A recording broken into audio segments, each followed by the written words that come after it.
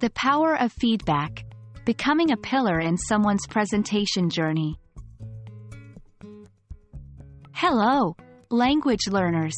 Today we're diving into a topic that is not only crucial for your own development but also for the growth of others around you.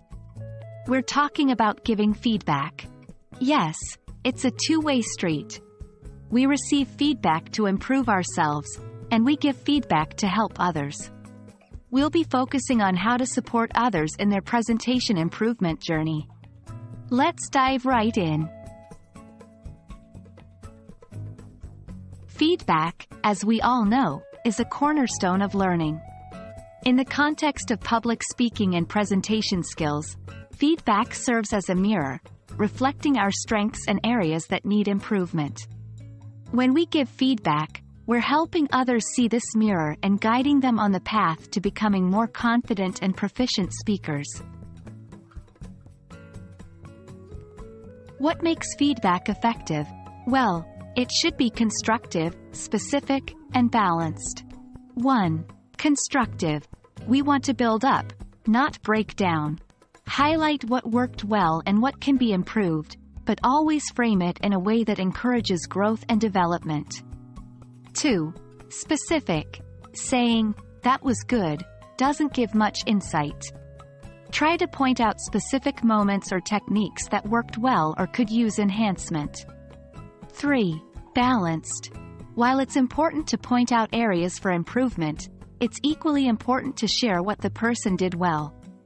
Balance the positives with the negatives to provide a comprehensive view.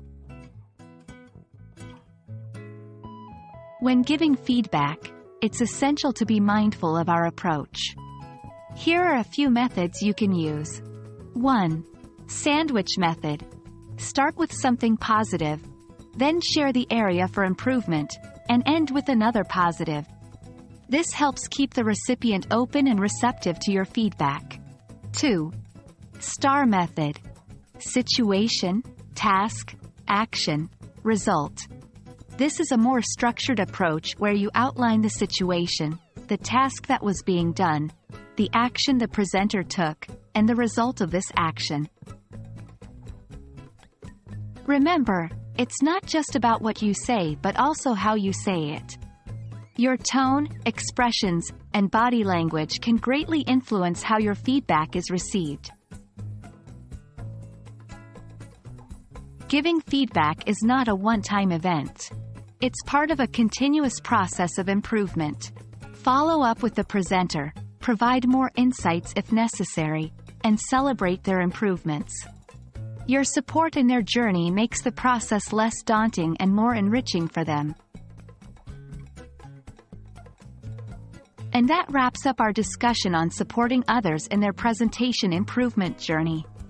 Remember, giving feedback is not about critiquing but about helping others grow.